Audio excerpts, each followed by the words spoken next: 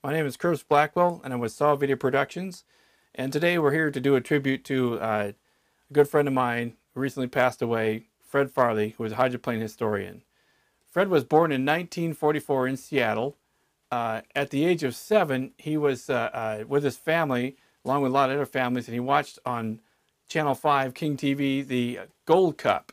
Now, how the Gold Cup came together was that uh, they wound up going, uh, Stan Sayers had put together a uh, hydroplane and went to Detroit, and then from Detroit won the Gold Cup there, brought back to Seattle, and uh, so Fred was with his family watching in 1951, and uh, he instantly fell in love with hydroplane racing, and his favorite boat was the Slow Motion 5. Now, back then, before they had the Mariners, the Seahawks, the, the Sonics, uh, had, Seattle had no sport, but they did have the sport of the uh, hydroplanes, and everybody was involved in it.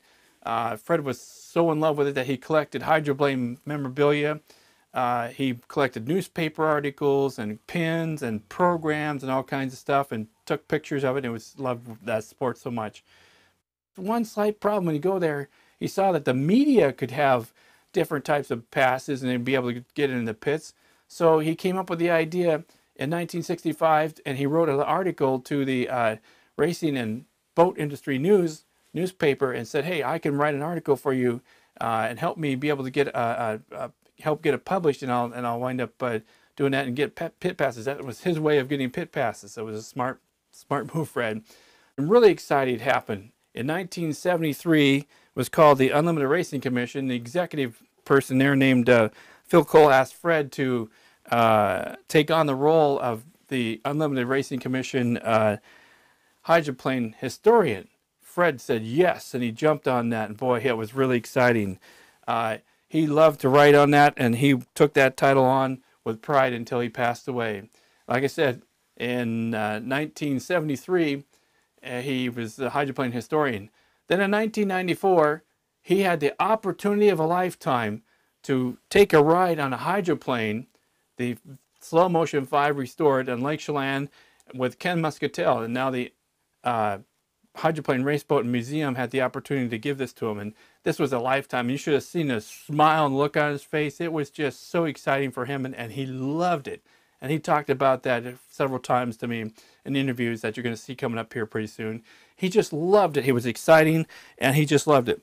Now in 1999 fred and his wife were so excited and he was so in love with the hydroplane racing as he always was that decided to move to Madison, Indiana. So they packed up and they moved to Madison, Indiana. They became part of the uh, incredible amount of the races uh, in Miss Madison. He was part of the member membership of the uh, put together the parade, and he also put together the the uh, Unlimited Racing Commission uh, race over there in Madison, Indiana.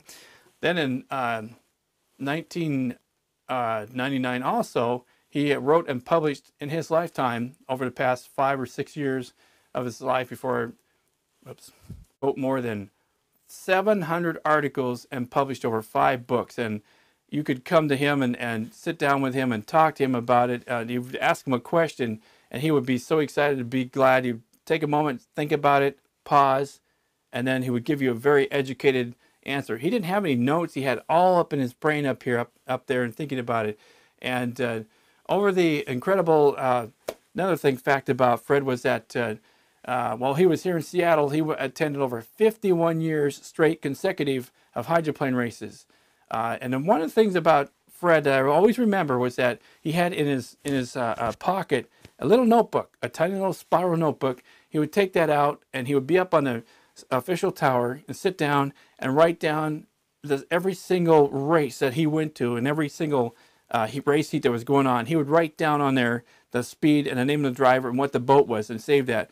Now, he had something like, I believe, one of the gentlemen, when he would, uh, after he became the hydroplane historian back in Madison, Indiana, had sent him over 500 books of articles and just all kinds of stuff, all dating all the way back to 1903 of hydroplane historian material, and, and they kept the boating back. It was called hydroplane historians back then. Okay, so after that, he decided that he was uh, going to keep answering people's questions. Well, like I said, I met Fred in 1973 and uh, it, since that time, I've had the opportunity over the past 20 years to have an opportunity to be able to sit down with him every year at the hydroplane races over the past 20 years and talk about that. So now, ladies and gentlemen, I present to you from Saw Video Productions archives over the past 20 years, just a little sampling of some of the some of the uh, video that we've seen that I had an opportunity to sit down with Fred and look. So, ladies and gentlemen, present to you from Saw Video Productions a tribute to Fred Farley.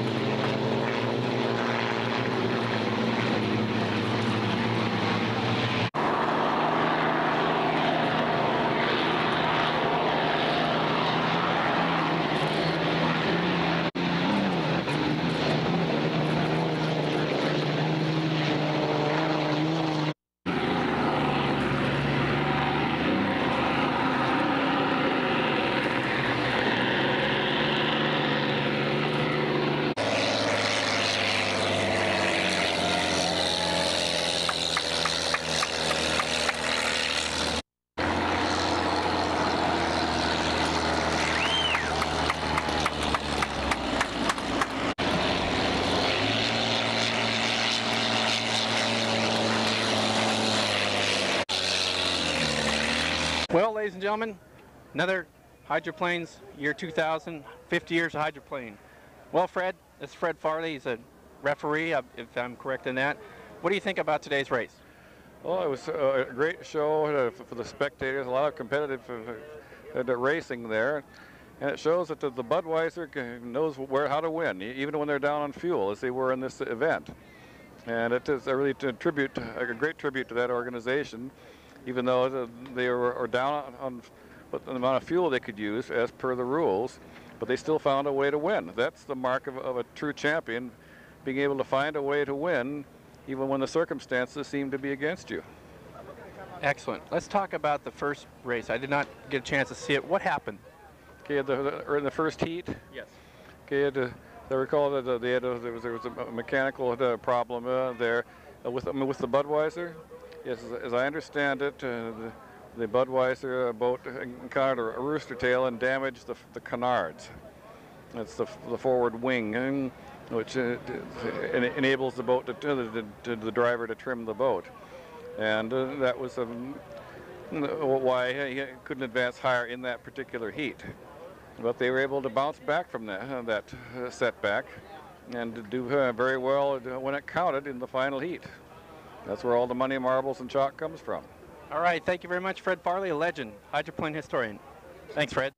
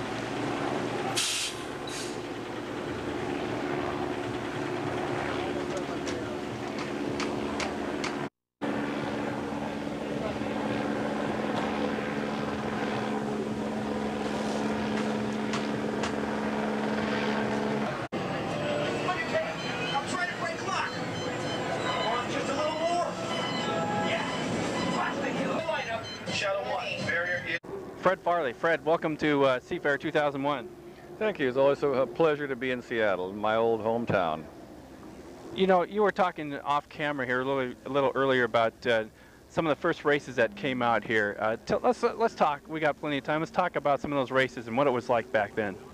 You know, the first race here in Seattle was in 1951, and we actually had two races here that season, uh, that year. And we had the Gold Cup on Saturday, August 4th, 1951, and the Seafair Trophy on Sunday, August 12th, 1951.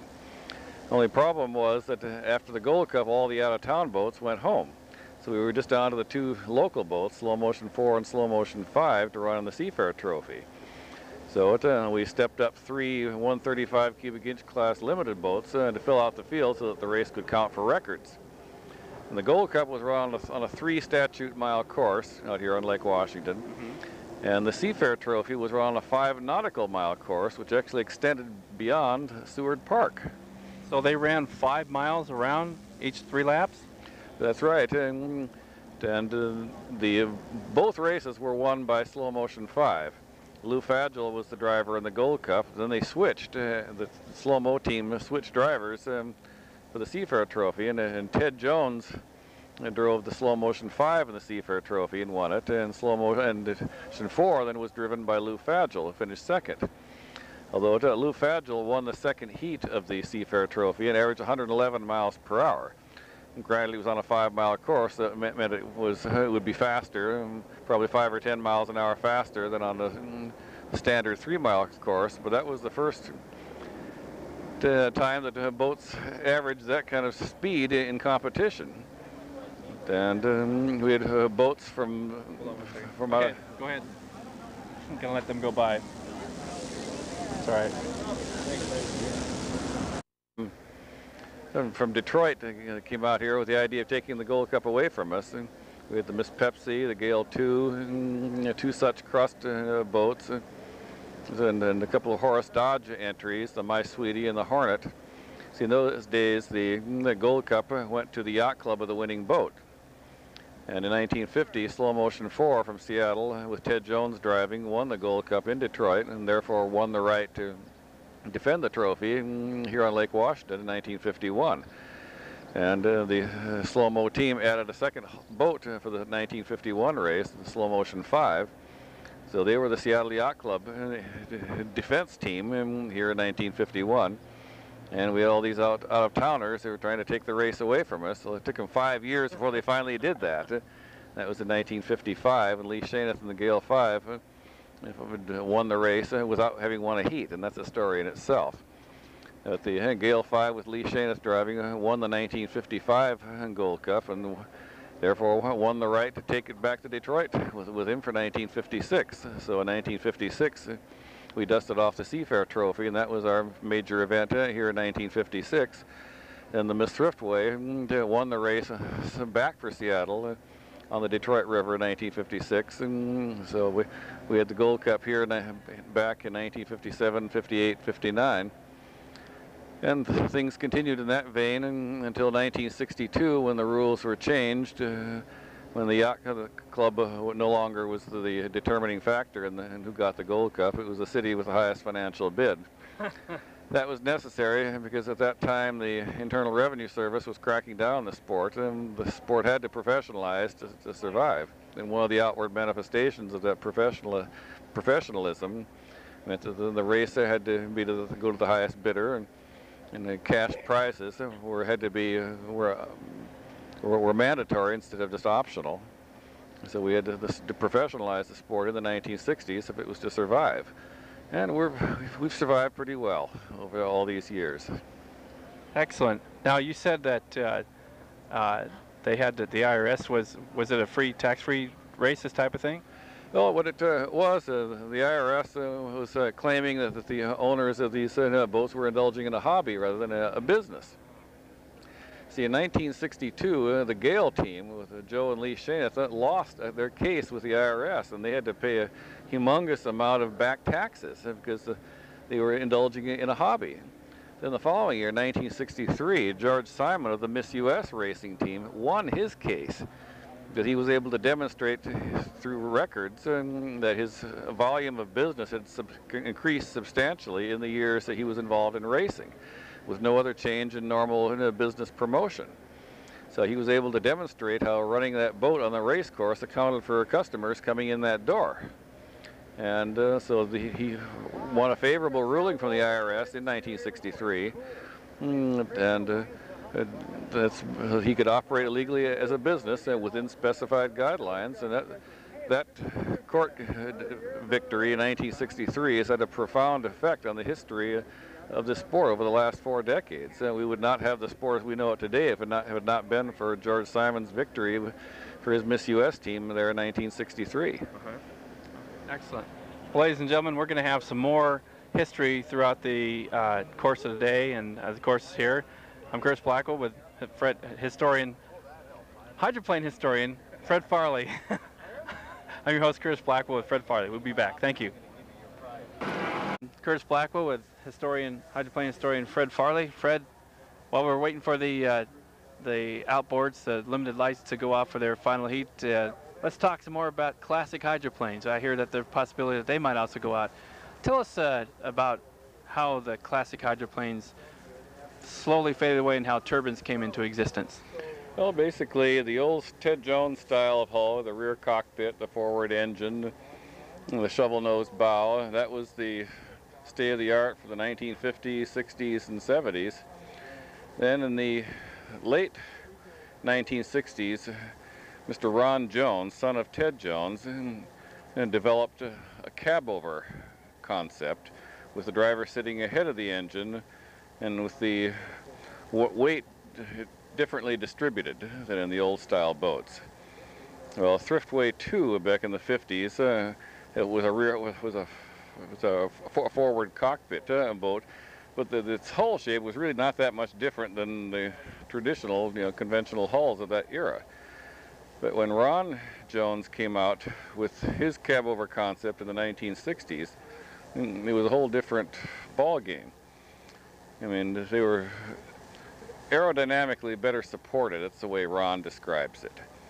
And he was very successful in the early 60s with a 225 cubic inch class hydroplane called Tiger II out of California. Mm -hmm. And this was a boat that Ron could hardly give away. But first time in competition, it raised the, the class record some five or six miles an hour.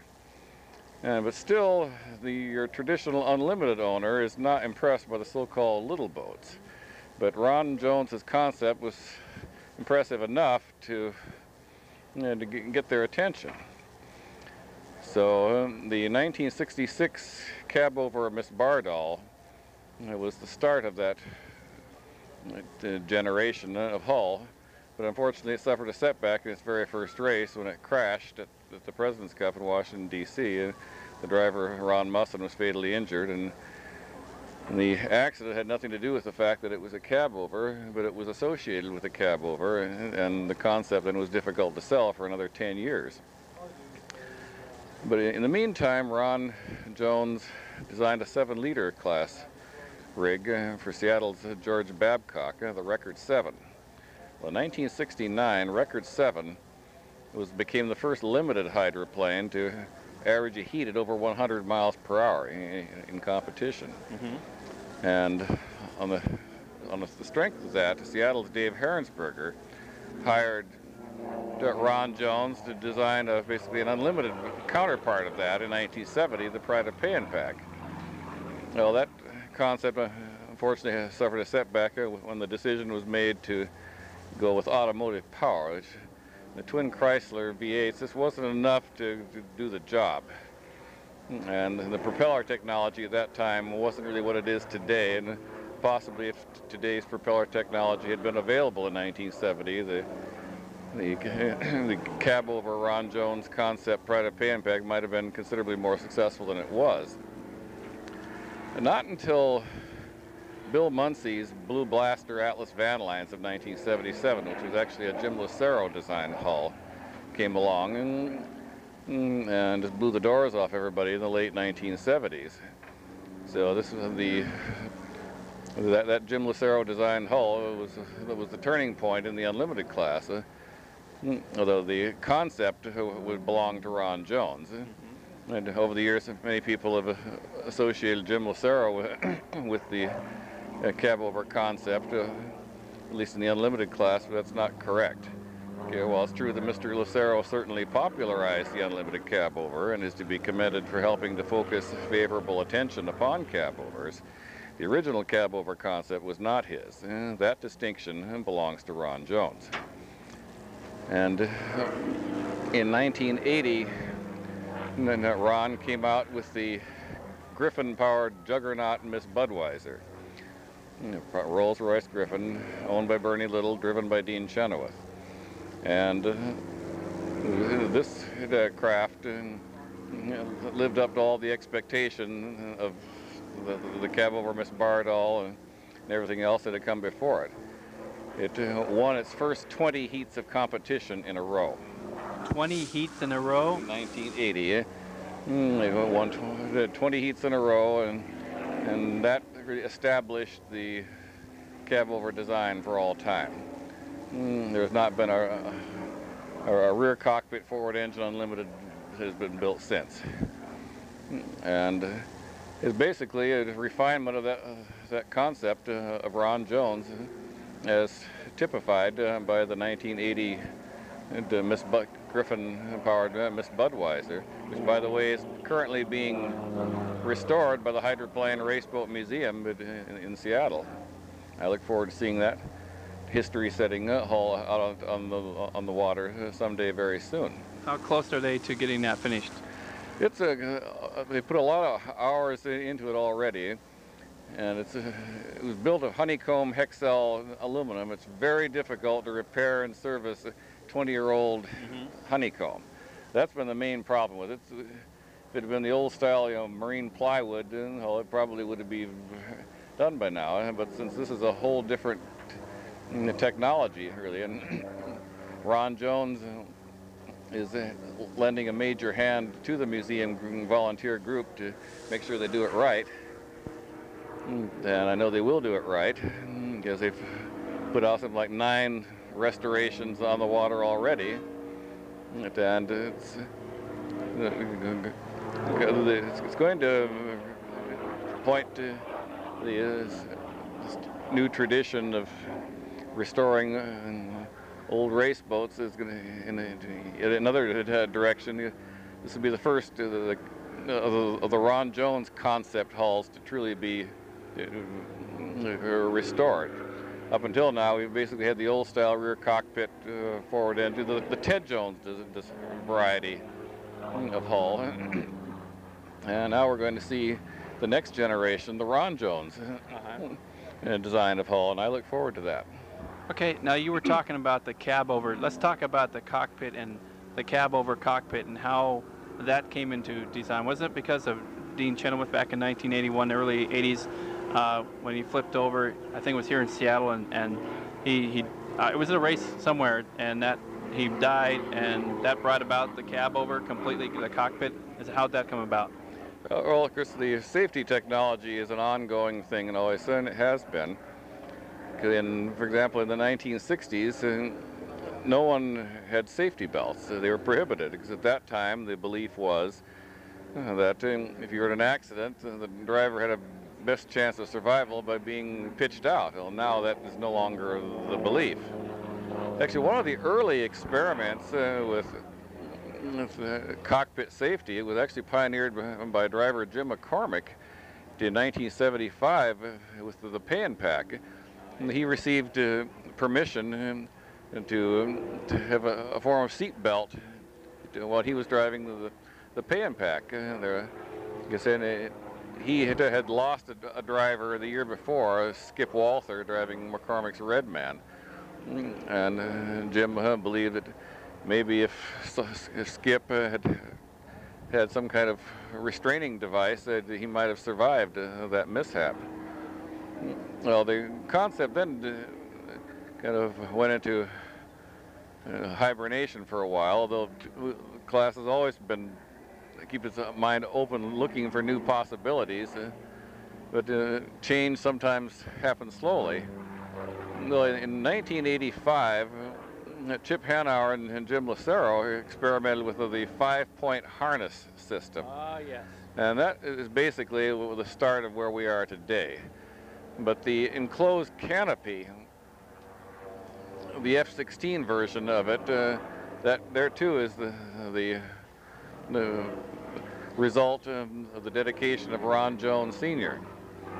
Now, the first boat to seat its driver indoors uh, was the 1985 Bubble Bud.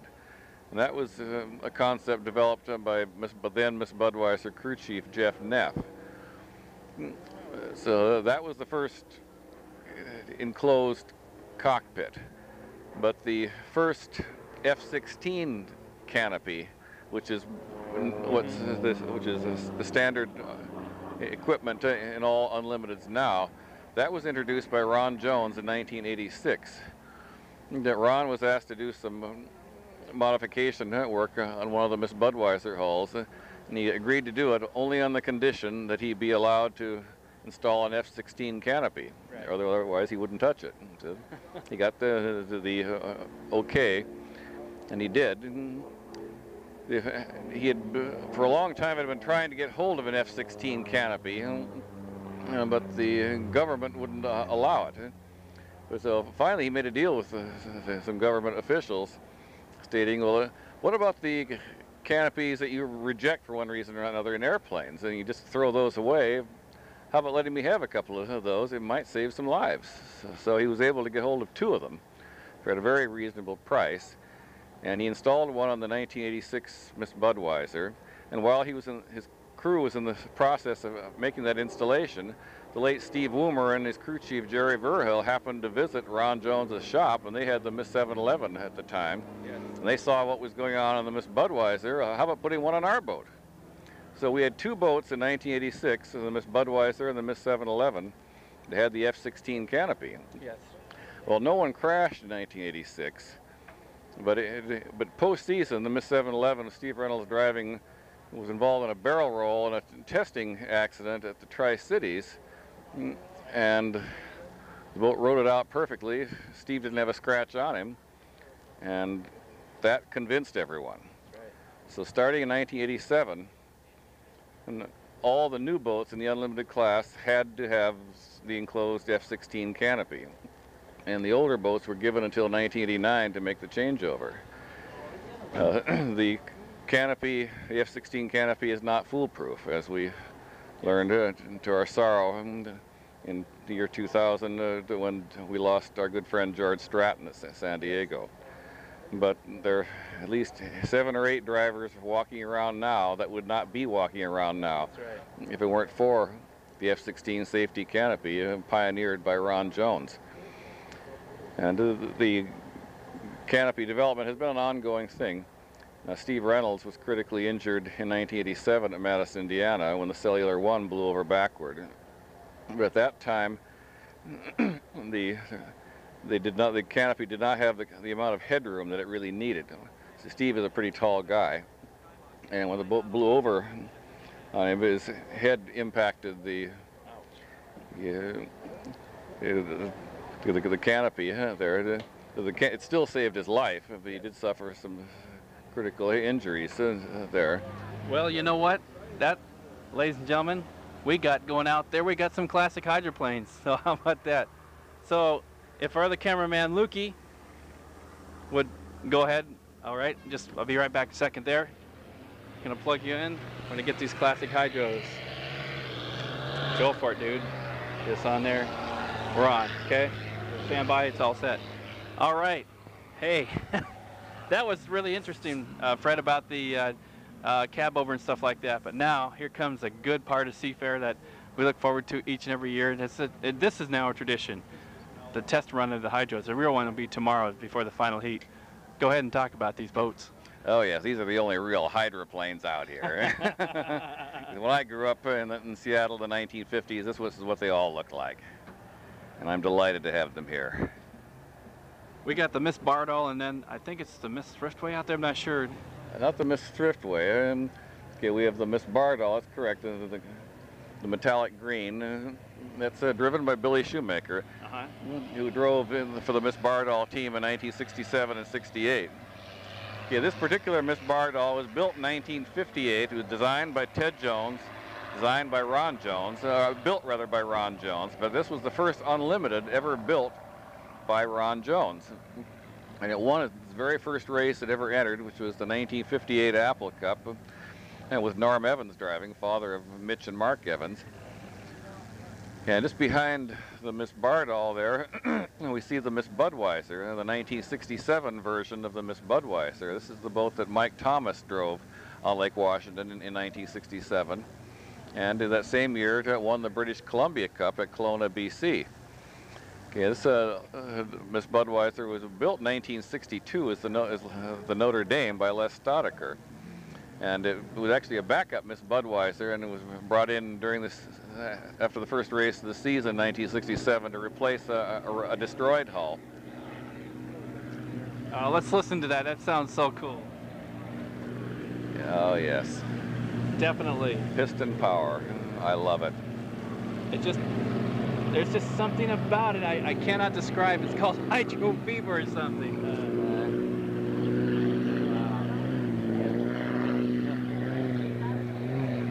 they're, they're just out there today just to kind of get a warm up for tomorrow and kind of get an idea. That's right. Uh, they will be uh, having their own little exhibition heat uh, between between heats of the, uh, the General uh, Motors Cup, and mm, and see, I think I I, uh, on the, on the coming out of the north turn, I believe I see the Miss Burien. Okay, it'll be coming by the or a camera vantage point uh, momentarily. That's the Miss Burien, designed and built by Ted Jones in 1960. The original driver was the late Chuck Hickling. And it later went on to become the, the Savair's Probe uh, that the late Bob Miller drove for so many years. And uh, the Miss Burien Sa- Savair's Probe competed on the Unlimited Circuit from 1960 to 1980. And it was uh, one of the last hulls, unlimited hulls, to be designed by Ted Jones. And it uh, used Allison power th- through much of its career. It was always a good riding boat, but it usually had just stock equipment. It never really had a chance to show what it could really do, and that always bothered me. That, uh, why won't someone put a really hot engine in the Miss Burien and Savair's Probe and then uh, see what it could really do? But okay, um, now we uh, see coming out of the north turn the Miss Bardahl running uh, alongside its traditional rival Hawaii Kai 3. The, the beautiful Pink Princess, which is a replica of the uh, Hawaii Kai 3 that won the Apple, the, the, uh, the won the Gold Cup uh, on the, the APBA Gold Cup on Lake Washington in 1958 with Jack Regas driving. The, the- this Hawaii Kai 3, which is a line-for-line hull duplicate of the original Kai, wa- wa- wa- was, is actually the former Breathless 2, which was built in 1957. It was the, the perfect stand-in for the real Kai, which was given a Viking funeral in the early 1970s. But it's a line-for-line hull duplicate, although the sponsons are different. But uh, the Hawaii Kai was arguably um, the finest race boat in the, of the 1950s. It was the first boat to win six races in a row. And he won the last five races of 1957, then it went into retirement and, and came out of retirement for one race in 1958 and won the Gold Cup here in Lake Washington. And this was back in the days uh, when the Gold Cup went to the yacht club with a winning boat. The defending champion, Miss Thriftway, hit the Coast Guard boat that year. 1958. Right, and, and the Hawaii Kai saved the Gold Cup for Seattle. Uh, and as a young man, uh, that meant an awful lot to me personally. See, the, the museum group has also restored um, the um, third Miss Thriftway, but with, the Miss Thriftway is not here uh, today, unfortunately. They, they blew an engine uh, in the Miss Thriftway, and they have not been able to uh, secure a replacement engine at this time. But it's all these uh, boats out there uh, right now uh, were restored and put back in running order by the Hydroplane Raceboat Museum of Seattle, Washington, headed by Dr. Ken Muscatel and Mr. David Williams. And most of the, nearly all of the boats out there right now were used in the filming of the Madison movie, the feature film, two years ago, um, which tells the story of the 1971 um, an APBA Gold Cup victory by the Miss Madison. And uh, most of these uh, uh, boats uh, were used in the live action scenes, um, filmed mainly at, uh, on the Ohio River at Madison, in Indiana. And it's a movie that could not have been made 10 years ago, and because these uh, boats were not available. Because then the boats that are running now could never have stood in for the boats of, of 30 years ago. All the boats of today are cab overs, and there were no cab overhauls at the 1971 Gold Cup. But uh, thanks to the efforts of the um, museum and volunteers, and these classic uh, race boats are out there on the water again, and uh, doing what, what they were intended to do. And as a, a nostalgic tribute to the sports classic past, as a reminder to us old timers that remember them from our youth, and as a, and as a as a history lesson to the younger generation, say, hey, uh, this is uh, where the sport was, and I mean these races didn't just drop out of the sky and happen. It took a lot of years to of years bring the planning and, and going and. It took a lot of years, right, to, to bring the boats up to their present level of technical uh, sophistication. Yeah, to, these uh, boats are generally, um, unlike the boats of today, which are uh, wider, flatter, and can corner better than these, than these boats. And, and is it true that most of these boats were owned by the owners themselves and built by friends and people and family? In a lot of cases, that was the truth. Uh, truth back in the, in the 1940s and 50s. Although all of the boats that are running here at the moment were either, were, the products of either the, Ted and Ron Jones or, or Les Staudacher. And Les Staudacher, the late Les Staudacher, was uh, a builder who was headquartered in, in Bay City, Michigan, who uh, built many unlimiteds in the 50s and 60s into the 70s. And you know, some of them were his own design, and, and some were just a design by Ted Jones and, and, and John Hacker. And uh, to, all the boats out here right now, are pretty much custom made uh, for the um, their particular owners uh, by either Mr. Ted Jones or Mr. Les Staudacher. And but uh, these were the typical hulls uh, of the late 50s, early 60s. Uh, these uh, boats were the state of the art for their day. All the boats running here were, were built between the years 1957 and 1962. So that's pretty much basically the years that they were running at their prime. Exactly. Like so the um, Miss Bard out there was the national high point champion in 1958. The, uh, the Hawaii Kai 3 is the replica of, of, the, of the Hawaii Kai the, that was national high point champion in 1957. And the, um, the Miss Budweiser was built in 1962 as the Notre Dame. It uh, won the 1967 British Columbia uh, Cup uh, with Mike Thomas uh, driving. And um, it's just a, such a thrill to see these old timers out there rooster tails flying and, doing uh, their thing. And uh, that's Billy Schumacher in the Miss Bardahl.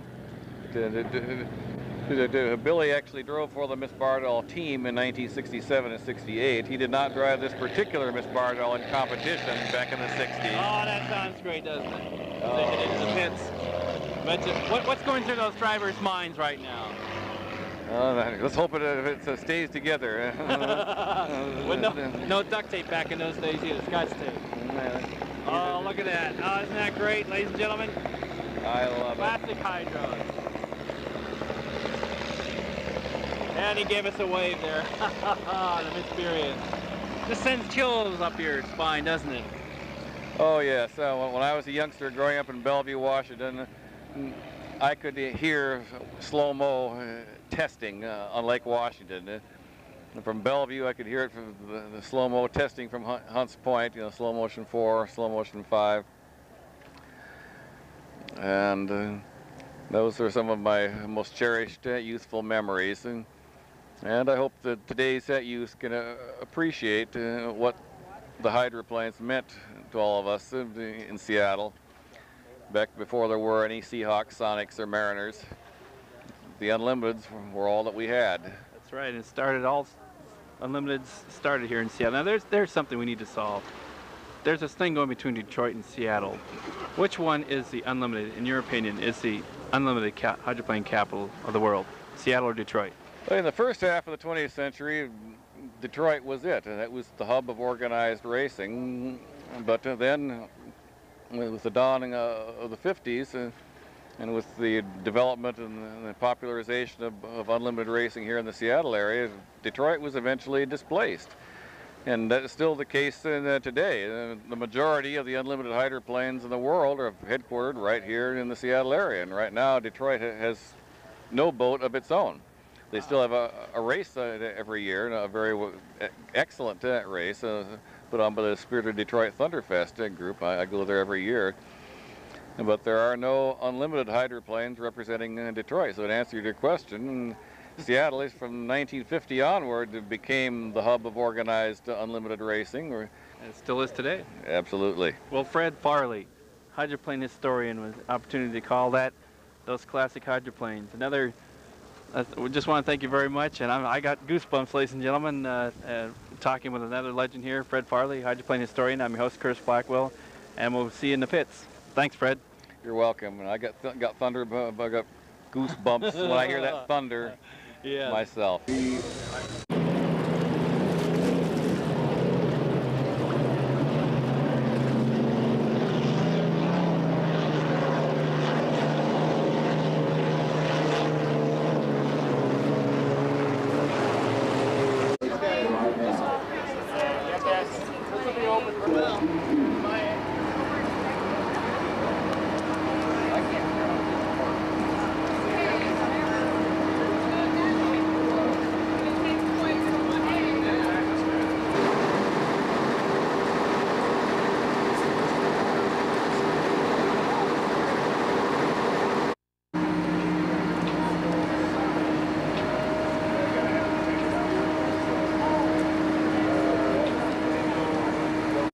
Hydroplane uh, race on uh, shores of Lake Washington, the 51st annual running, or 51st, whatever it is, is now over with, done and over with. Uh, I'm your host, Curtis Blackwell, along with uh, Fred Farley. Fred, uh, let's talk about the race. How was it today? A clean race, a competitive race, and the uh, it all came down to the, the, the final heat. There were no assigned lanes. The drivers had to fight for it. Dave Villwock grabbed the inside lane, was able to run a shorter and a, track than the other boats and forced everyone else to run a wider and longer track. And that proved to be the margin of victory. It came down to a driver's race. It was a competitive race. and He won fair and square. And Nate Brown gave a fine account of himself in second place. And, and then uh, I was also impressed uh, with Mark Tate and the Miss Trend West, who ran a steady third. One thing I noticed that was different this year was that it was more competitive, like you said. Was it fuel restrictions? What was the new changes in the rules this year that uh, made it so that uh, it made it more competitive for everybody? Well, there have been a number of factors that the, new administration of the sport has uh, taken into account. Uh, things such as the standardization of engine parts. Know, no longer can the big money teams, for example, manufacture their own replacement engine parts. Uh, everyone has to use stock parts, like from the, uh, the, the, rich teams and the not so rich uh, teams. So the, they're more equal. Now the speeds aren't as fast as a result, and they aren't as fast as they were a few years ago. But the, the, the boats are closer together in speed. There's more parity uh, now. It's not just uh, one boat and uh, two miles ahead of everybody else. It's close uh, racing, better uh, racing. Uh, it's a more fan-friendly kind of uh, racing. Isn't that what we are, we're all here for, to see good competitive racing? All right, well, thank you. Thanks again, uh, Fred. Probably be back here again next year, uh, 2003, for the hydroplane racing in shores of Lake Washington. Curtis Black reporting, and coming up, we're not done yet. Coming up next is a post-wrap-up show with Pat O'Day telling us how the races are. Thanks again, Fred, and Thanks again, everybody. We'll be back in just a couple minutes as we take a look at the tower being taken down and another race is over with. 2002. Your host, Curtis Blackwell with Solid Video Productions. It was a very successful boat in its day. And when the Schoenith acquired it, they, they had, to, had to have a riding mechanic. One guy to steer, another to, to help uh, watch the, the instruments and to help balance the thing. And you know, one of the riding mechanics in the, the 1950 President's Cup with Lee Schoenith was a, was a very young Bill Muncey. Although this boat did win a secondary race in St. Clair, Michigan in 1956, but just couldn't quite keep up with bo- boats like the Miss Thriftway and the, mm, the Hawaii Kai and then some of those uh, boats of that era. So Gale 6 uh, to, with Lee Schoenith driving. Lee uh, later became commissioner of Unlimited Racing. Yes, this was the 1958 Miss Bardahl, race from 1958 to 1961. And it's being driven in this photo uh, by the late Norm Evans, the father of Mark Evans and Mitch Evans, who are racing uh, this weekend here in the in the General Motors Cup. And, uh, we're going to take a brief commercial message here. Just let you know that uh, Solve Video Productions, uh, this is uh, the official behind-the-scenes videographer for Seafair, and uh, we're coming to you from the shores of Lake Washington. I'm your host, Chris Blackwell. We have a very special guest, Fred Farley, carrying on with the uh, hydroplanes uh, that you have right here. What, what's the next one you got there, Fred? Here's the Maverick of 1959, the U double zero. This was owned by Mr. W.T. Bill Waggoner mm, of, uh, of Vernon, Texas. And uh, this team also ran the Shanty 1 in 1956-57. This uh, boat was a, a Ted Jones design, designed and built by Ted, and was a Gold Cup and National High Point champion in 1959. Then Mr. Wagner retired from the sport for reasons of health, and later was the original Miss Budweiser, and in 1967 is the original Atlas Van Lines. And it was still in competition as late as, uh, as 1970. This is the, the Maverick, uh, driven originally by Bill Stead. He was a Nevada cattle rancher who also had, uh, previously campaigned the Hurricane 4, which we talked about earlier. Uh, Unlimited Light. This boat uh, was built in 1959 uh, by, uh, by Ted Jones, who designed most of the top Unlimiteds of that era. It, uh, it was driven in all of its races uh, by the late, great Bill Muncey. Won the Gold Cup in 1961 and 62. That was High Point champion in 60, 61, 62. And set a world uh, mile straightaway record of, of 192 miles per hour in, in 1960, which stood for two years. This uh, was a popular uh, boat of the 60s. Uh, the Savair's Probe, another Ted Jones creation. And it was uh, originally the, the Miss Burien, the Miss Burien, the Tempest, uh, owned uh, uh, by, by the late Peter Wick. Okay, it uh, raced from, from 1960 to 63 under the under, for the Museum, and, and, and participated in the filming of the Madison movie, uh, which uh, someday we'll, we'll, we'll see in theaters. And it's still very much an operational vehicle to this day. This boat, the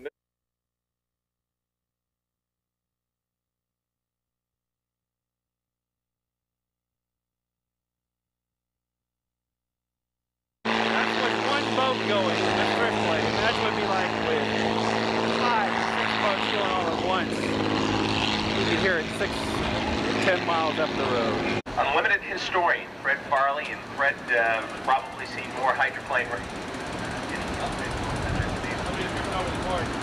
Well, and anyways, uh, Fred, uh, one of the things that we've got out here right now is the uh, one of the great hydroplanes of all time, and that is the uh, Miss Thriftway Century 21. This boat, as I mentioned earlier, was uh, driven by uh, the late great Bill Muncey, who was originally from Royal Oak, then went out to Seattle, where Fred is originally from. And uh, Fred, when you a look at this boat, uh, what type of memories does it bring on this river? It gives me goosebumps. Uh, Bruce. Go left.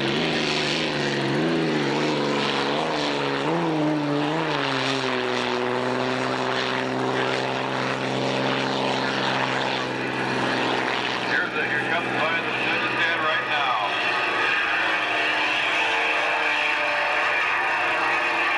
And what's Fred, is when you take a look and everybody talks about the roar of the hydroplanes, the younger fans probably don't remember any of this roar because now we have the whoosh of the turbines. But this boat was one of the loud, I would say the loudest boats that was on the circuit. And uh, basically it was, uh, it was a Rolls Royce, Rolls Royce uh, that was originally running the, uh, the fire engines of the World War II with the, uh, with the British Air powerful but was more temperamental. It's kind of a trade-off uh, there. This particular hull was uh, designed and built by the late great Ted Jones in 1959. And it won the Gold Cup in 1961, at Lake Pyramid, Reno, Nevada, 1962. Seattle, my hometown, hometown. And it, it was national high point champion, 1960, 61, 62. Owned by the late Willard Rhodes, driven by the late great Bill Muncey. This was his first national champion boat. He'd driven two previous this Thriftway. This was the third, the most successful of the three. And set up a mile straightaway record. The propeller driven boat at 192 miles per hour. They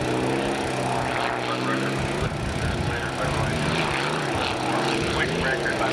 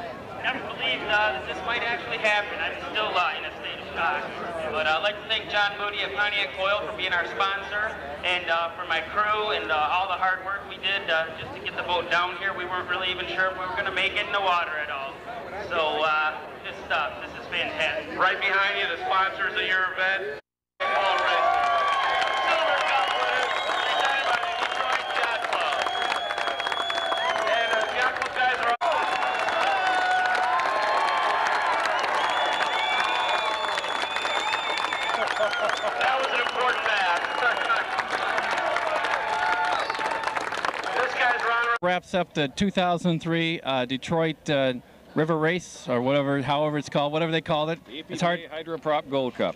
This is this is Fred Farley. He's uh, was gracious enough to give us some passes to come down here. Now it's time for a post wrap up here in Detroit. Uh, first of all, Fred, thank you very much uh, for letting us do this. And uh, so, give us an evaluation of what it was like today. I still haven't uh, caught my breath after the competitive event we witnessed today. For the first time in 27 years, a piston-powered boat has won the premier trophy in, in the world of boat racing, the APBA Hydroprop Gold Cup. And uh, the last time that happened was 1976, uh, Tom D'Eath in the Miss US. Tom D'Eath, who was the major force behind this race here today. This, this race would not have happened without the efforts and determination of Mr. Tom D'Eath. And I can't say enough uh, for the team of Ed Cooper Sr., Ed Cooper Jr., driver Mitch Evans, uh, you know, the Fox Hills uh, the Chrysler GPU 3. They uh, won when the chips were down. They maintained a, a, a two rooster tail lead over the Miss Budweiser from, almost from start to finish. And Dave Villwock gave it everything he had. It was one of the best races Dave Villwock ever drove. It was one of the best uh, races Mitch Evans ever drove.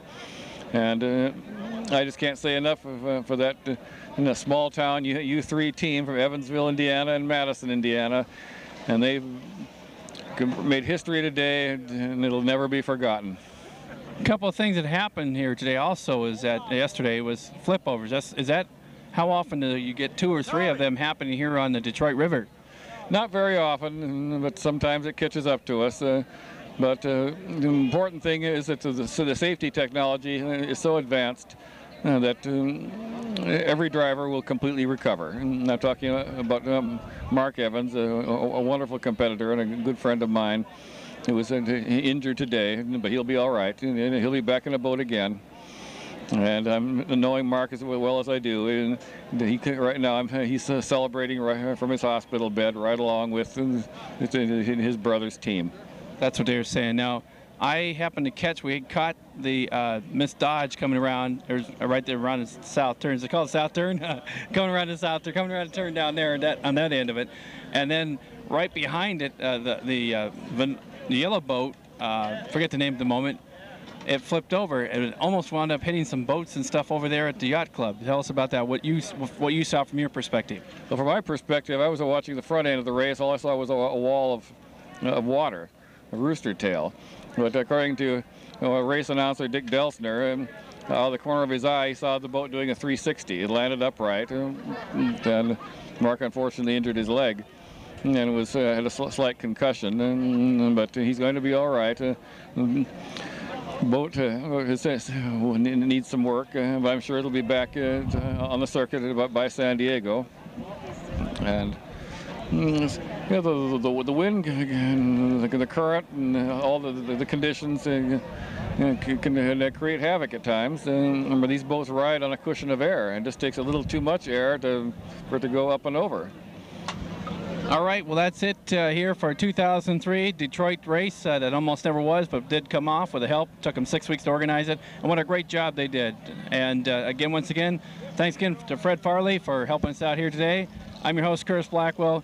We'll see you next year for the 100th running of the hydros and boats here in Detroit from Detroit River. Good night.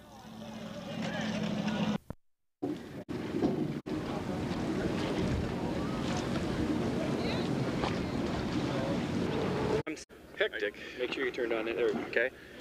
We've uh, seen some spirited competition out there. A few gun jumps, a few uh, uh, driving errors, uh, but uh, it's early in the day, and uh, what we've seen so far is indicative of what we see later on. It'll be a super competitive event. Uh, and uh, see, we saw a lot of boats running side by side. And, and now I understand that the you know, they'll have, assigned lanes for 2A and 2B, and it'll be the Uh-huh. reverse order of their order of finish in, in Heat 1.